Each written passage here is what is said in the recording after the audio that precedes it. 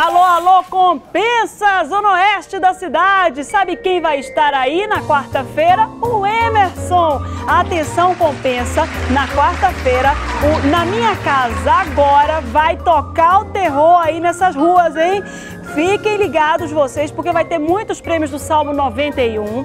Prêmios, assim, impressionantes para você que é ligado na TV em Tempo, que tá ligado com a gente. Então, fica todo mundo ligado na TV e assistindo o programa da comunidade, porque o Emerson vai entrar na. Ele vai invadir, né? Ele vai invadir, faz o almoço, porque ele vai lá comer. E você fica ligado na TV, porque você vai ganhar prêmios do Salmo 91. E lembrando que o vizinho da direita e o vizinho da esquerda também ganham prêmios, viu? É quarta-feira. Compensa! Alô, alô, compensa!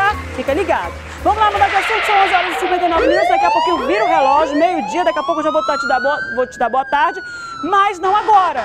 Porque eu vou trazer para você informações da tarde de ontem. Na tarde de domingo, um homem foi assassinado a golpes de faca. E segundo a família, ele era usuário de drogas. E há um mês ele tinha se metido numa confusão e por causa disso, supostamente ele acabou morrendo. Quem traz as informações para você na reportagem é o Fred Rocha.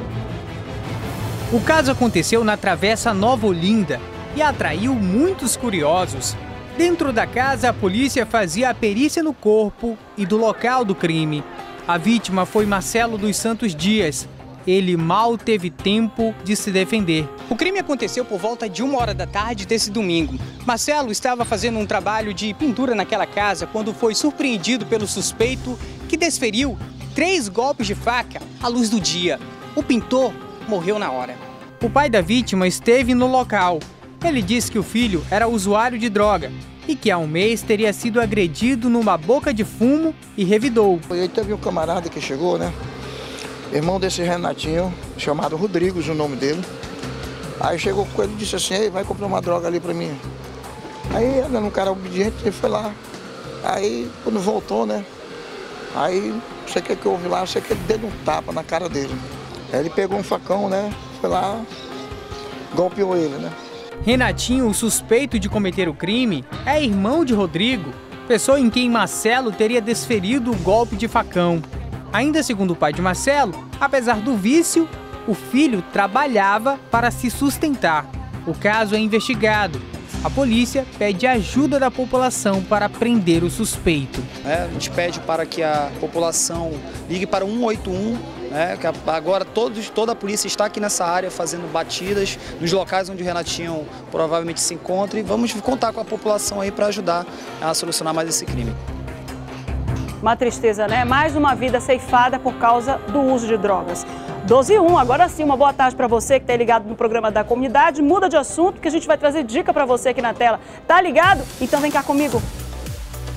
Ei, vamos lá, vamos para emagrecer? Quer uma receita para perder peso e medidas sem sofrimento? Tem uma, uma dica para você, Lipomax Plus e Lipomax Shake. Dá uma olhada aí nesse depoimento.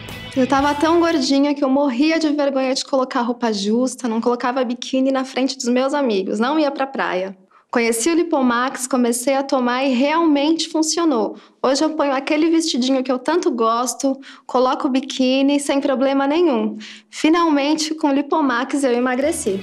Viu? Lipomax Plus controla o apetite, elimina gorduras localizadas, regula o intestino e assim você emagrece. Agora, associando Lipomax Plus ao Lipomax Shake, você emagrece até 5 quilos ou mais em pouco tempo. E, gente, Lipomax Shake é super prático, ele vem em sachê e já tem leite desnatado, podendo ser preparado em qualquer lugar. É só adicionar água. Lipomax Plus e Lipomax Shake. A receita para você perder peso. A linha Lipomax você encontra em todas as farmácias do Brasil, mas a preços promocionais na rede de drogarias Farmabem.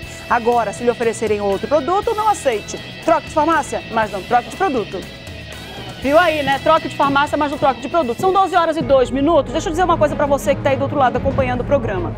Toda essa discussão do delegado Gustavo, infelizmente da morte da, do Wilson Justo e do envolvimento dessa, desse assédio, desse suposto assédio na mulher, contra a mulher dele, a Fabiola, reacende aí esse respeito que a mulher precisa ter é, em qualquer lugar, em qualquer ambiente. A gente viu o Marco Aurélio Choi, que é o presidente da OAB, mencionando isso na coletiva, na conversa que ele teve com os repórteres ontem no enterro, inclusive falou com o nosso repórter também, sobre esse respeito que se tem que ter com as mulheres.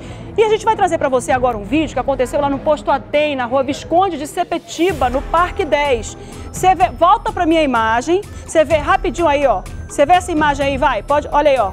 Você viu que o rapaz enfiou a mão no vestido da moça. Ela volta, com toda razão, ofendida. Quem tá com ela vai lá e agride o rapaz e gera uma briga generalizada, porque todo mundo veio de lá de fora para tentar castigar esse homem que encheu a mão no bumbum, né, da moça que estava saindo da loja de conveniência. A gente vê que isso, infelizmente, é muito comum. Gente sem noção que se acha no direito de violar o corpo das mulheres, passar a mão nas pernas, passar a mão no bumbum, passar a mão nos seios e achar que fica impune. E não acabou aí essa confusão, não. O homem saiu com o carro dele, uma picape, pegou o carro, não sei se vai aparecer agora as imagens aí, ó. Você tenta ver que as pessoas que estão lá dentro tentam contornar a situação. A moça tenta evitar, tenta acalmar tudo e falar: gente, para com isso, olha aqui, a loja toda quebrada, para com isso. E nessa hora o homem está lá fora. Tá aí, ó. Você vê o momento em que ele bate no carro da mulher e a mulher estava nas proximidades do carro. Inclusive, o áudio dá para perceber, dá para entender que alguém é, agredi, que supostamente teria atropelado a mulher. Não foi. Olha só a ação dele em cima do carro. Ele ainda chegou a encostar na bomba e foi embora. Olha aí, ó. Olha aí. Acha que é assim. Quebrou a cara. Ele quebrou a cara. Ele achou que ia ficar de graça a mãozada dele. 12 horas e 5 minutos, a gente não identificou ainda quem é esse homem. Ele apanha, apanha muito. A gente não identificou quem é esse homem ainda, não sabe quem é essa moça, mas com toda certeza absoluta, as responsabilidades serão apuradas depois. Vamos voltar para cá, 12 horas e 5 minutos. Quatro homens suspeitos de assaltos em postos de gasolina na zona sul de Manaus foram presos após investigação da equipe do terceiro Distrito Integrado de Polícia. Acompanhe.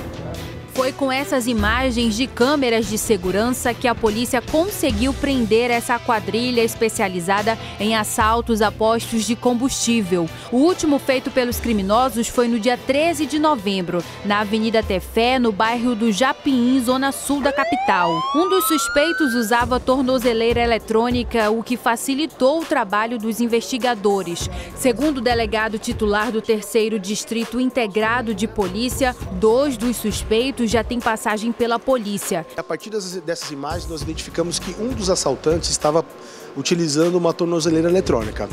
Diante dessa informação, nós solicitamos à SEAP as informações sobre eventuais indivíduos com tornozeleira eletrônica ativas dentro da nossa circunscrição policial. E aí nós chegamos a várias fotografias, vários suspeitos e nós submetemos essas imagens, essas fotografias desses suspeitos às vítimas, né, às testemunhas dos postos de gasolina. E aí foi identificado o Joimar do Nascimento de Souza, como um indivíduo que estava utilizando a tornozeleira eletrônica no momento do crime. E faz um alerta a possíveis vítimas da quadrilha para que procurem a delegacia. Semana que vem comparecerão aqui representantes de outros dois postos de gasolina para, vão trazer seus funcionários para efetuar o reconhecimento desses indivíduos. Então, na semana que vem, eles continuarão custodiados aqui e caso alguém reconheça, eu peço que venha à delegacia para efetuar o reconhecimento. Né? Ninguém, nenhum deles vai conseguir visualizar. É, nós temos aquele espelho, né? aquele vidro que não, não permite a, a visualização né? da, da vítima. E aí nós vamos pedir mandados de prisão a cada caso, a cada vítima que comparecer aqui na delegacia do FBI que tá lá e ninguém pode ver quem é que tá lá me reconhecendo. O bandido não vê a vítima, o espelho do FBI que tá lá na delegacia. 12 e 7. Você que tá do outro lado acompanhando a gente, vem cá que eu tenho mais uma dica para você. Fica ligado, então se liga em mim, vem cá. Gente, presta atenção. A gente que é mulher sabe que tem que se prevenir contra a osteoporose. Você sabia que a osteoporose é uma doença silenciosa que enfraquece os ossos, provoca dores, deformações na coluna e é uma das principais causas de fraturas? Por isso, você não pode tomar qualquer cálcio. Para prevenir a osteoporose, tome Calcitran. Olha aí esse depoimento.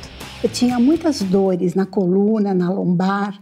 E quando eu fui ao médico, ele disse que eu estava com osteoporose comecei a tomar calcitran. Hoje estou bem disposta, não sinto mais dor nenhuma, até voltei para a academia. Calcitran é maravilhoso, funciona mesmo. Viu só? Com apenas um comprimido ao dia de calcitran, você repõe as suas necessidades diárias de cálcio e vitamina D. E se você precisa de uma reposição de cálcio ainda mais rápida e eficaz, tome Calcitran MDK. Milhares de pessoas já se beneficiaram tomando Calcitran. Tome Calcitran, o cálcio certo para você não se arrepender depois. Calcitran está à venda em todas as farmácias do Brasil, mas a preços promocionais na rede de drogarias Farmabem. Agora, se lhe oferecerem outro produto, não aceite. Troque de farmácia, mas não troque calcitran por outro cálcio. Viu aí? Não troca calcitran por outro cálcio, não. Vamos para o intervalo rapidinho. Você que tem do outro lado, a gente vai para o intervalo, mas vai trazer a ronda policial no próximo bloco. Inclusive, inclusive, é para acabar, né? Inclusive, esse caso que você está acompanhando as imagens, que foi na Cidade de Deus, é, um homem foi morto com 11 tiros, com facadas e não satisfeitos em matá-lo com tiros e facadas, também apedrejaram o homem. É briga de facção criminosa, é destaque de polícia, é já já.